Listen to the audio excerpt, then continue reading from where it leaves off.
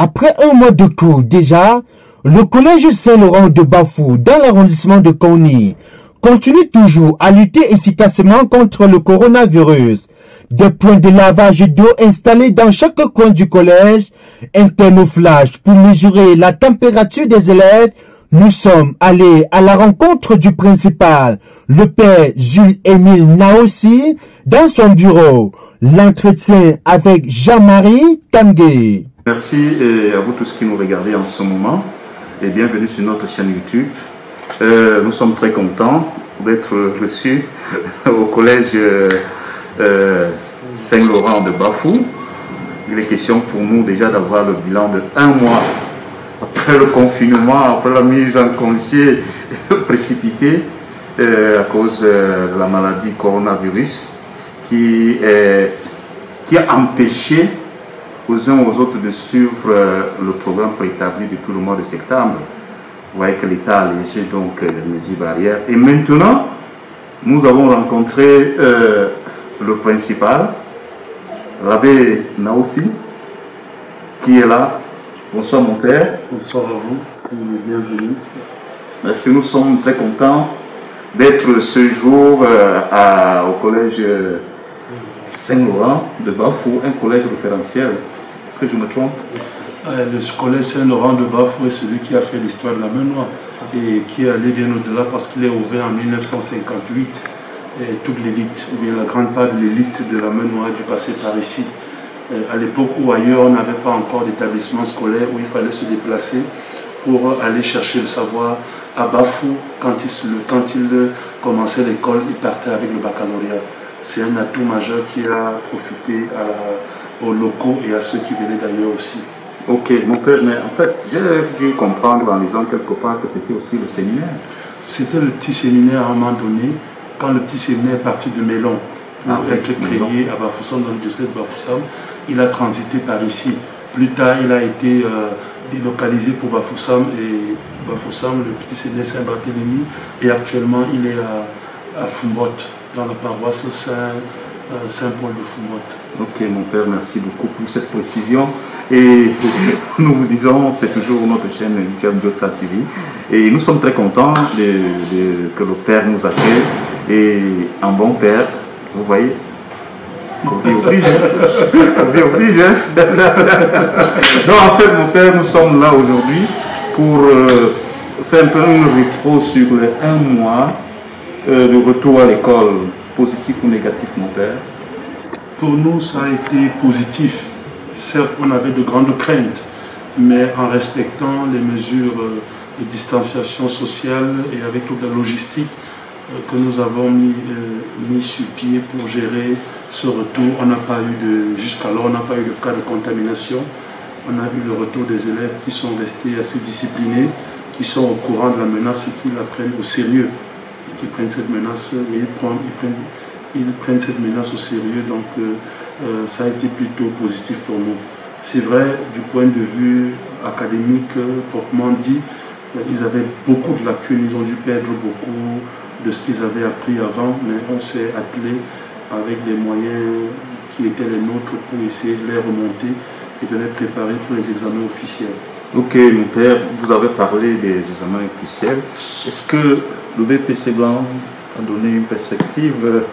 Je ne sais pas s'il faut dire BPC Noir ou bien. Disons qu'actuellement, euh, Oui. le BPC blanc ne l'a pas encore fait. Il n'est pas encore, l'examen BPC blanc n'a pas encore, n'a pas encore eu lieu dans l'établissement. Ah. Et il aura lieu la semaine prochaine. Et disons que euh, le, le départ brusque dû à la menace du, du Covid a impacté sérieusement sur euh, les études des enfants. Mhm. Parce que ça n'a pas été facile de les suivre par les moyens, par les réseaux sociaux, par WhatsApp. Beaucoup d'établissements en ville ont pu le communiquer avec les élèves, mais chez nous, ça a été difficile parce que les enfants n'avaient pas ces équipements et ils n'ont pas l'accès à Internet.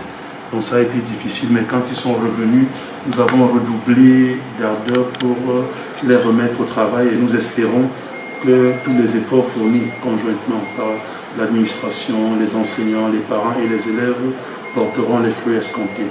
Ok, merci mon père et bon courage pour la continuité. Euh, Merci à vous pour ce que vous faites. pour la sensibilisation, pour cette présence, pour votre passage ici. Euh, cela nous rappelle que nous aussi nous comptons euh, et nous comptons beaucoup dans la, contrée pour l'éducation des enfants. Ok mon père, euh, nous sommes venus, ce n'est pas un cadeau, mais je dis avec l'association Token, nous sommes donc en train de rafficher ça devant chaque salle de classe. Question de rappeler à nos jeunes lorsqu'ils arrivent de comprendre que l'État a allergé les mesures, l'État n'a pas dit qu'on ne doit plus respecter les conseils édictés. Parce qu'on voit, euh, lorsque nous marchons, nous constatons que les gens ne portent plus le masque. Nous voulons déjà vous féliciter parce que vous prêchez par exemple. à l'entrée, nous avons constaté que tous les enseignants, tous vos collaborateurs qui sont là, chacun a un masque et un thermoflash. il y a le gel hydroalcoolique pour laver. Et nous voudrions mettre ceci à l'entrée de chaque classe.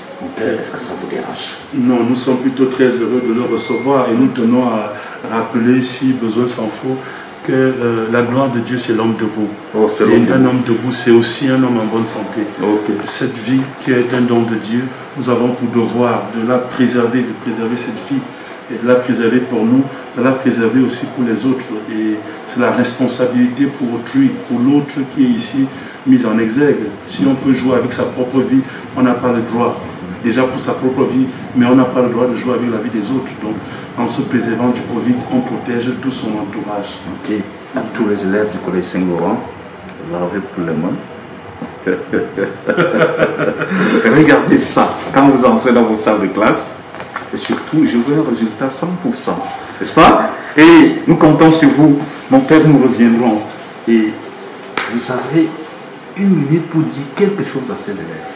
Voilà.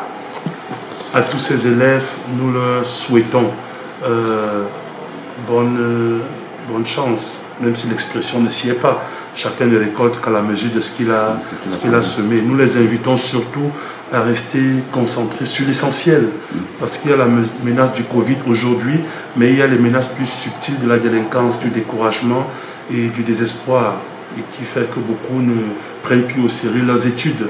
Mais nous leur demandons de se remettre debout et de remettre au jour, au bout du jour, leurs études, prendre très au sérieux leur formation, car notre belle nation a besoin d'une des citoyens bien formés qui lui seront utiles demain. L'Église aussi est au service de l'éducation et voudrait que tous ceux qu'elle a eu l'occasion de former euh, réussissent leur vie sur tous les plans. merci mon Père. Et nous disons, la nation a besoin d'être bien formée. C'est le collège Saint-Laurent en est au laboratoire. Merci et à la prochaine. Le collège Saint-Laurent de Bafou est une école de référence dans le département de la Ménoire avec un taux de réussite appréciable chaque année en ce qui concerne les examens officiels.